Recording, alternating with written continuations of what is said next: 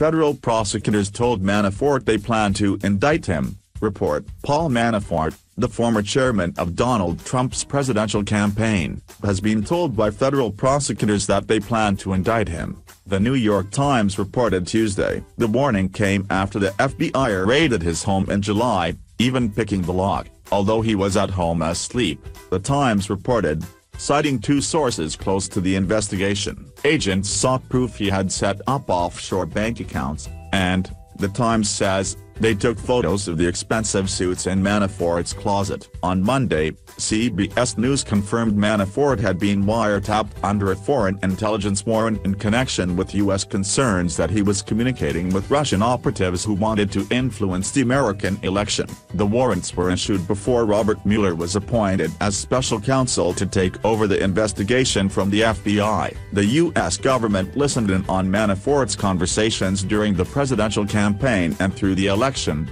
though not constantly, and its surveillance includes the period when Manafort was Mr. Trump's campaign chairman. So please subscribe our channel for more videos.